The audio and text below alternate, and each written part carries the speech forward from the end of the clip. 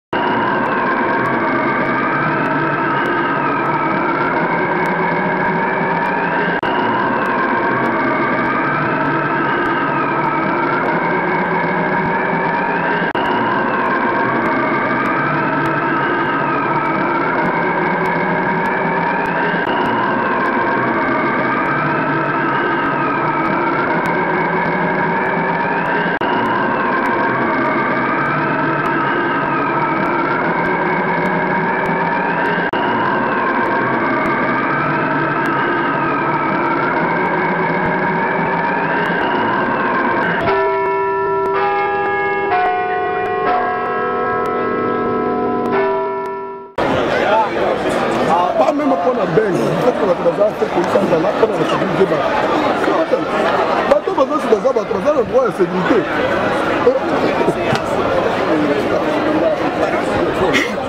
ozomona neti bomoga ezokolisa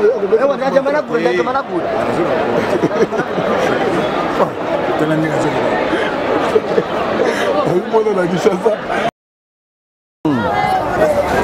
voilà toza susu na ingénieur papi sukami révolutionnaire masolo yango ebandi lisusu donc euh, tomoni présence ya bambila awa ingénieur eza nini en fait baya kobimisa bino to masolo ezosila lelo okoma bon eza kaka congolais na motema mabe na ye alobi mbila ayaki awa mpo abimisa biso maintenant mbila ye mpo lelo bazosala baopération bancaire na bango hmm. na réserve fédéral banque ya bango ya western cape hmm. alors basala mosala na bango bayaki na ntongo bamaster bayola mosala no capitaine moko azobuka ngai nake tosolo na yebisana no papi toza na eloko ya kosala na bino te bosala droit na bino normal hmm. omoni immeuble tovandi awa eza lokola aimable ya jikamini ya congo donc anglo mining aza na deux niveau awa baoffice na ye mm. donc soki tovandaki awa toza na droit na biso te mbele kala babimisaki biso nde bamoni ke toza na droit na biso xénophobe eza réel mm. sud africa azo se préparer aboma tous les étrangers na mboka na ye mm. yango omoni biso totelemi awa po tobundela milimo bandeko bakufa tala bana baza awa ozomona bana oyo baza borfelin bapapa na bango bakufa bamosusu babetaka masasi bamosusu batyuba bambeli mm. yango bana na bana na biso toye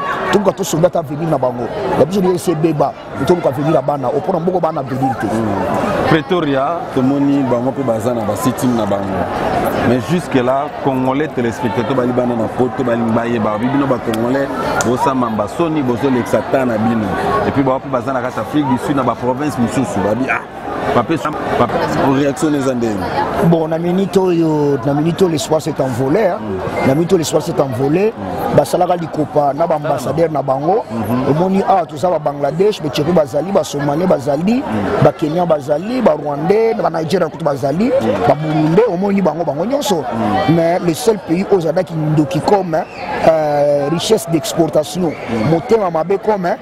capital d'exploitation hmm. batindi na ambassadeur asaliri biso ke toye awa tosalaka trafic humain hmm. ya kobenda bangulu banini donc makambo ya soni donc pretoria baba master batelemi mpo na cause oyo biso tobundela awa hmm. bango nde eza na memorandum biso koto toza lokola tremplin na bango mpo awa nde vile ya mondele tosala poids makasi pression makasi toza au cœur de la capitale parlementaire biso toza awa eza balio touristique ya makasi oyo oyebi kaso tala na nkombo ya immeuble omoni waldorf waldorf oyo eza bakombo yo oyebi na bafilme ya place ya new york waldof astoria mhm. donc eza bamama na baimeble eza bakombo yabo mhm. donc babusiness ya makasi eza place na kere oyo awa mhm. tourisme mpo ozongona weza bikeko banini euh, green market ezalaka dédié mpona activité touristique alors eza nde place nde totie club wana biso eloko topreparaki yango depuis avril donc e tosalaka marche tosalaka no na parlement wana oyo te xenophobia nde place na bulaki ke non il faut totuta eloko moko contre ac hmm. tobanda komi kofisela bango tala place baya kobombana ozo comprendre ondima kuteke ac erafandaka awa toye kodécouvrir bango ali club oyo tokangi bango moshel balali toza na troisième semaine lelo boye ndenge lelo 19e jour na biso hmm. ocomprendre na masolo ekende bien masolo ekende bien hmm. tobandi sikoyo na semaine prochaine déjà ensuite ekozala bien masolo ekende bien tomonaki odeklarai kofashaki contre son excellence l'ambassadeur ben poko osilikelaki ye nini alobi no bozonga fati aza na mposa na bino bacongolais boli kozonga te ingénieur papi mais osalaki réplique moko méchant kosakana te mpo na nini mon cher mon cher bolowa bonzakwa hmm. pretre na ndenge ya moke te hmm. ambassadeur wana ce type aste midio ozo comprendre hmm. fati azwi pouvoir ti lelo edika penda aza wapi Son, toza na bato awa bakima mpo na kese ya edika pene yebisanga bato nyonso bazongi edika pene na balibere te ozo comprendre porte parole ya idps oyo babengaka petio nani fils mokoko fils mokoko a été vandalise babeti ye ozo comprendre babeti fils mokoko siko soki fils mokoko babeti ye bongo ngai bakosala nga nini ozo comprendre pasteur epafras grand combattant ya poto Yeah. awuti odaye na kini nani ayebi akufi ndenge nini opposant oyo nani mukebaya mukebayi lelo aza na prison bosanga le droit de l'homme ezali sécurité na safety ezali ye moko fati azokoka soki komata na avion azo maîtrise ni défense ni police tout ce qu'il a comme opposant azalaka na présidence nga na kititi na bakongo na kititi na bandu na kikwiti ndenge liabo mikungu maire de la ville bien bourgmestre akotrike nga kuna bakangi nga na babomi nga kuna nga na kointervenir l'opposition a combien de gouverneur il a combien de mon cher congo eza na safety te Il y a encore des prisonniers politiques. Personne n'a été libéré. Mm. Que non, Makambo ici, le commis bien. Mm. Vous comprenez mm. Donc, Babylon a lobby Walsa Bouzoba. Et lui, c'est un ambassadeur Oyo. atekaka le passeport le plus cher ya monde mm. donc eza soni akoloba kutu biloko ya ndenge wana te akoloba kutu biloko ya ndenge wana te donc makambo ebele oyo azosala ya mabe asali na réputation ya congo parce que ye aza ambassadeur air commerce wana ya bazwaka bato batikela bango na poto aye kopesa rapport lelo aye bango kala asala nini mpo apekisa yango donc ye aza complice ya makambo wana ozo comprendre donc ambassadeur wana biloko alobi ya ba nonsense mais bon eza bakor na bango cash na soki udps soki nini soki na ba fcc soki ba scc soki nini basisa yango na ndenge na bango biso awa business na biso ezali our business to save lives of refugees toye apo to aide bande oyo babima po awa yo omoni semaine prochaine balobi apartir le 4 novembre they are going to clean south africa balingi mopaya moko su te atravaille na basecteur na bango ya misala mm. donc awa ozomona awa mon cher mm. komela nga le 10 awa mm. tokozala komona bambeto ekotonda awa dona bandeko oyo banda kobundisa biso na baoyo banda koseka biso ebele deja na minute oyo batiki ba famille na bango baza awa donc otangela nga master moko na moko bando sala biso la biso tala o petit sera de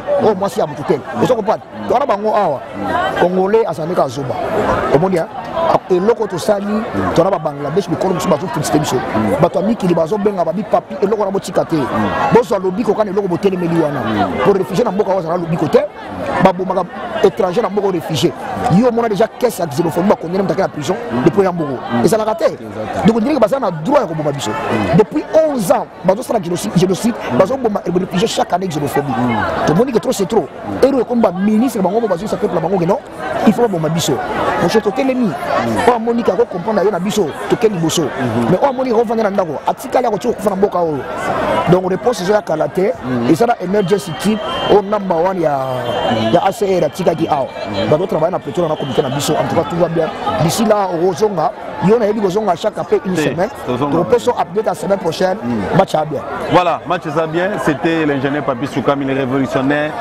chairman ya kff congolais no patas donc tozopesa moko ya suite masolo ya ndenge ezozala toyokaki baaudio ke mbila azokita awa mpona koévacue baréfugie oyo bavandi ya liboso ya biracha ezali na ndenge wana te par rapport ya ndenge boyokaki badongolo miso bakufi na bango soni congolais kaka te moto azovanda esengeli mpo tosisina ye eloko wana parce que les gens pensent que ce sont que les congolais oyo bazodeklare badroit na bango orke eza bapaye ebele bazali na kati yango vraiment ingénieur merci beaucoup peut-être moi ya suka ma salutation quoi baza libanda mwa soki ezaka bacongolais tolingana tolingana bolingo tozanga biso makasi na congo mm. tolinga mboka na biso congo mm. tolingana mpe biso na biso bacongolais c'est ça vraiment oyo eza message oyo esali bapilier ya kff mm. tona trois pilier na kff anti tribal Mhm. Amour du Congo et amour des Congolais. Mhm. Donc, euh, we stand there, Ingeta. Ingeta. Voilà, merci. C'était Josué Boloa, en direct à Cape Town. Tozalaki na kati ya ya, ya Cape Town awa bisika baréfugié bavandi bazodeklare badroit na bango balobi Afrique du Sud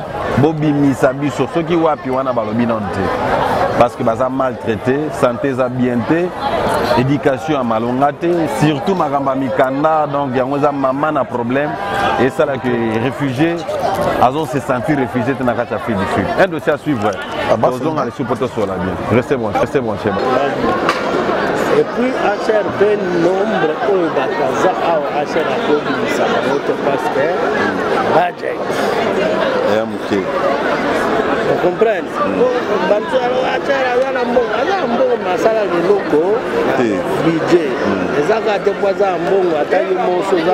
mbongo ka moto aye pesanga 200 mil ozwi kaka opesi mpo oza yango ifo oyeba mpe 200 yango ya nini ekosala nini so nalongoli 200 yango awa otikala na combien ozo comprendre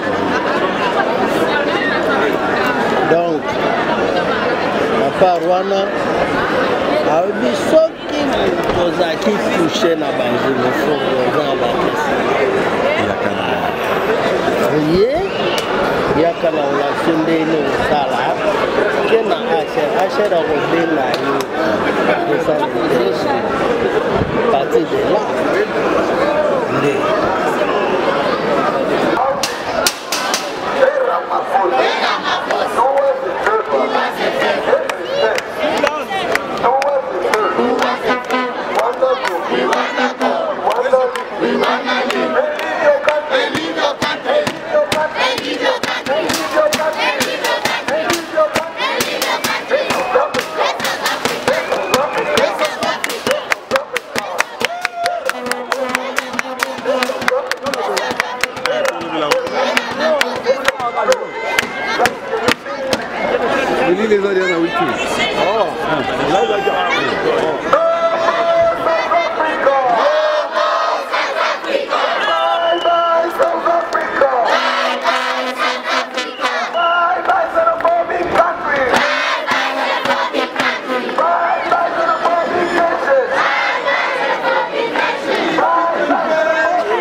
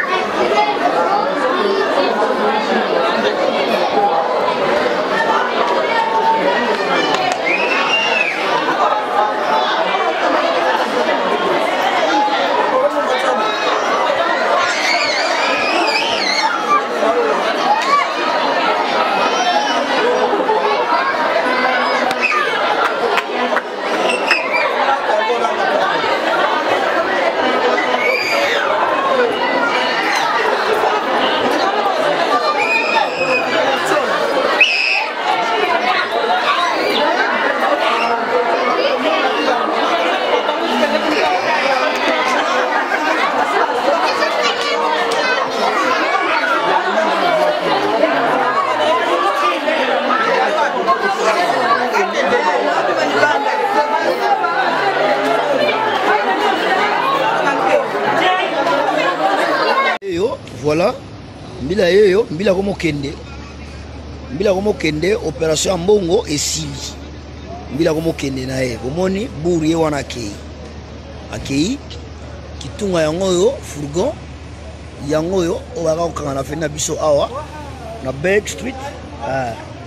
oyo tala omoni deuxième fin yango wana elongwe mibale deja elongwaki avant tala kitunga ye wana baibai kitunga baibai mbila bakei o oh, bakokanga bato wana bazolala kuna baza kokanga bango batiki banote congolais congolais tala kitunga yango wana bayaki mpona opération ya lar toyebisaki bino ces gens sont venus pour l'opération d'argent bazwi bambongo mpo réserve fédérale na bango tout ya western kepe ezalaka awa badispatche babimi na mama na tricage babimisi bango na batrake ya bapick and pay batrake ya baspartan sikoyo batrake yango bazobimisa yango 4 5 6 trake 4 5 6 trake moyen mpo oyeba te nini eza na mbongo oyo aza na mbongo te hélicoptère likolo tala kongole kaka kokosa kokosa kokosa koloba kaka biloko moko kozangisela bato kimia motema mabe awa na mito toza na bato kitunga ya bauti tala e, bifuli ya bato bauti epiveli